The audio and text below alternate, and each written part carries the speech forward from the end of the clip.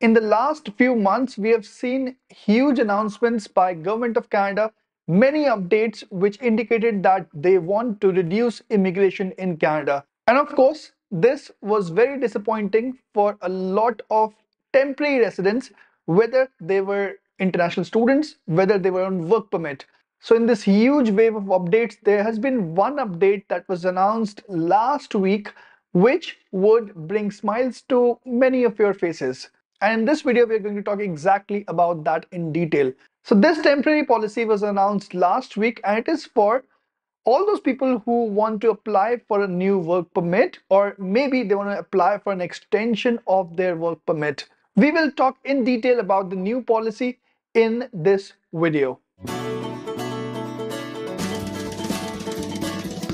Before we start talking about this policy in detail, just a quick disclaimer.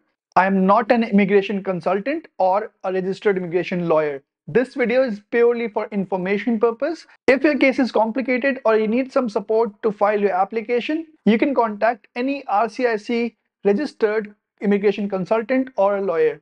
In this channel, I've never promoted any services like that. Okay, so now when you understand that, let's just quickly discuss about this policy. In the last few months, we have seen a lot of protest, hunger strikes by international students or recent graduates in provinces like Prince Edward Island, in Manitoba, in um, cities like Brampton, Surrey, and a majority of these strikes had one demand. They wanted a pathway to permanent residency, and hence this temporary public policy would help a lot of those people achieve their dreams of staying in Canada for longer and eventually getting closer to their permanent residency. So this policy aims primarily three types of people. Number one, people who hold a valid work permit and maybe it may be expiring in the next few months. Number two, all those people whose work permit was valid as of 7th of May 2024 and after that it expired. And number three, who are on implied status for their work permit. So if you want to apply for a work permit or an extension for your current work permit, you probably would need two different types of documents, which is most crucial for this announcement. Number one, a support letter from the province, and number two, a letter from your employer. So there's this one caveat that we need to take care of. The province where you're residing and working, you need a letter from them that they endorse you as a part of their PNP application process.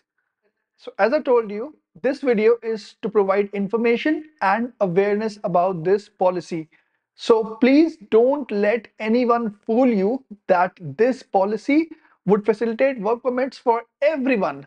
No, not everyone would be getting an extension of the work permit or a new work permit due to this policy.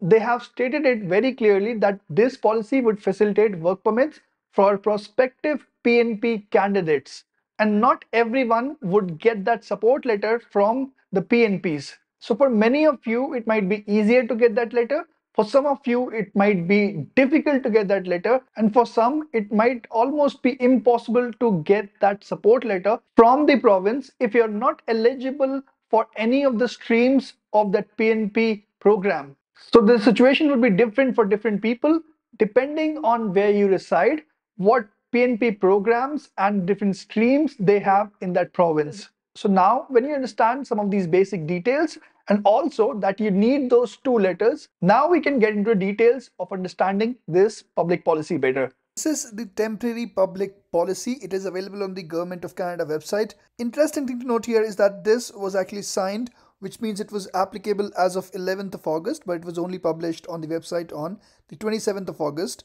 Now here they have clearly outlined three different conditions. If your situation is also falling into one of these conditions, then you'd be eligible for this open work permit. So the first condition is for all of those people who hold a valid work permit. Of course, you'd be submitting the application for the new work permit.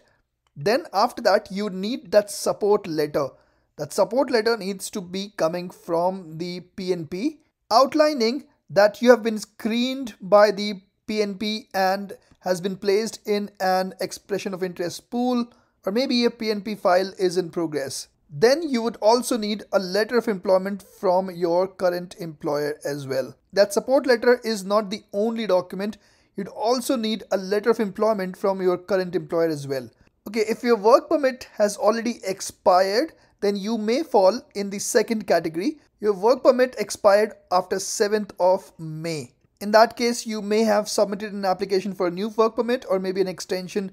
In that case, you may have submitted an application for a new work permit or maybe an extension. In that case also, you would need that support letter and also the letter of employment from your current employer.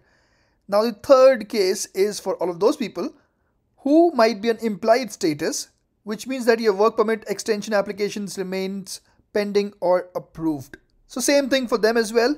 You must have submitted that application and also you must have a support letter and a letter of employment from your current employer. Now very important thing to note here is that this public policy will expire on 31st of December 2024. So just four more months to go.